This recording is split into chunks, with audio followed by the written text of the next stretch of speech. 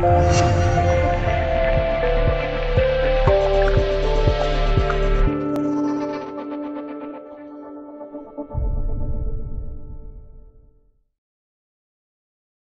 方网记者李佳敏八月十八日报道，随着社会发展，越来越多的海外优秀人才聚集到上海。如何帮助他们了解上海，并顺利在上海实现创业？海归创业成功人士无疑最有发言权。今天上午，以志愿同心助创同行为主题的上海市创业指导专家志愿团二零一八年度新专家入团仪式暨培训交流活动举行。活动上，六十八位新入团专家接受聘书并庄严宣誓，新老专家共同交流。加入志愿团的初心与感悟，继专家志愿团相继成立文化创意、互联网、生态农业和高校创业导师营之后，今年专家志愿团还将成立一个为海归创业者开展指导帮扶的导师营——海归创业导师营，旨在为海归人才做好指导服务，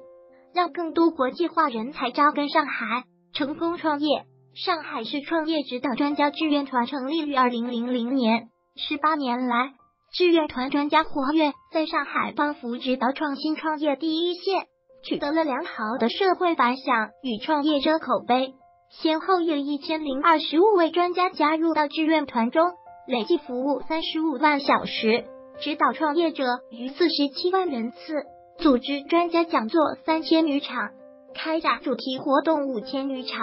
助力十余万名创业者实现创业梦想。上海市人力资源和社会保障局党委副书记纪维轩、副局长张兰、上海市精神文明办公室副主任江明等出席活动，为志愿团代表颁发二零一七年全国最佳志愿服务组织奖牌和二零一七年上海市优秀志愿者荣誉证书，并为新成立的海归创业导师尹树旗。上海市创业指导专家志愿团作为国内首个从事创业指导服务的志愿组织，也是获得全国最佳志愿组织荣誉中唯一一个从事创业服务的志愿团队。据最新的上海市居民创业状况调查报告显示，相较于二零一六年、二零一七年，创业者对专家咨询服务的需求上升了近两个百分点，从百分之十四提高到百分之十五点九。且连续多年呈上升趋势。